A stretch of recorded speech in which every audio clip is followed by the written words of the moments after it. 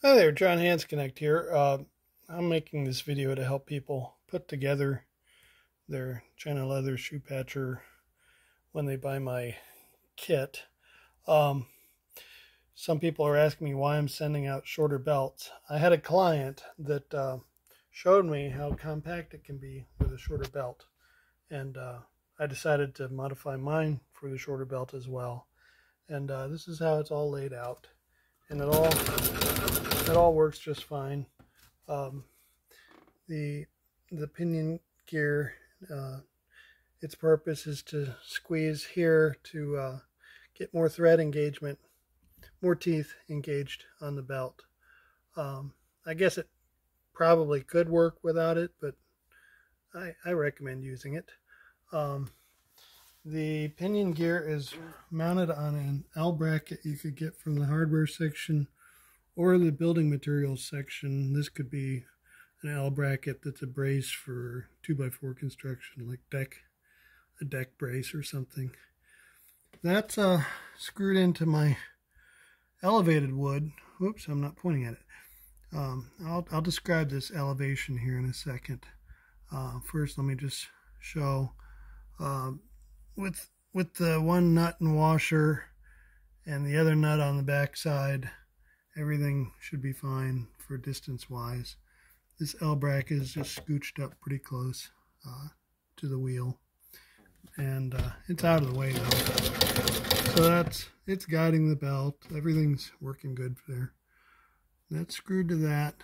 The main motor housing assembly, um, I cut off the ass end of mine just because it wasn't needed.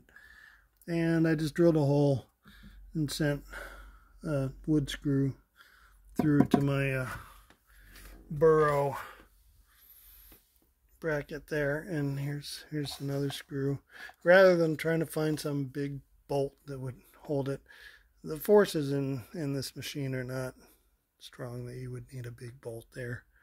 So it's just a little tiny screw holding it. It's a wood screw um what else can I say about it let me describe the uh, foot pedal on the standard thing, that foot pedal or the speed controller is mounted to to the motor usually uh, on that bracket that I cut away. Uh, and I just had a 50 pound lead brick. And so I screwed the thing to that. And then I put an extension rod. And so I can just hit that with my foot. And it, it gives uh, fairly good control uh, I wanted to explain how I mounted my machine to the to the sawhorse. Uh, this first um, 2x4 I screwed down with deck screws and so there it was by itself. The second 2x4 I put in I had I pre-drilled for a bolt that was going to go through this way and I pounded in. They they call these uh, well, I don't remember what they call them. You can get these at Home Depot or McMaster-Carr as well. But this way, when the bolt is going through the top, it's passing through and it's quarter 20 clearance and it pinches and so it's trying to pull up on that so that's how that bolt's working. And then there's more deck screws that were sent through from this one into this one. Because I didn't have super long deck screws that would go through two 2x4s. And uh, I think that describes everything you need to know. Um, you don't have to go tight on the tension of this belt. It can be relatively loose because you got to be able to just easily pull it off for bobbin winding and then easily throw it back on. Um, what else? This is just RTV'd in place.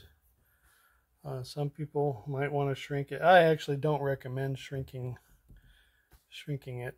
Just uh, fill in the gap with some RTV. And if you notice as it's running that there's some wobble, you know, in the belt or anything, as long as it's got the tooth engagement, it doesn't matter if if it looks like it's wobbly like out of balance. What else? Uh, so there we go. I uh, used some LED strip lights that are really nice.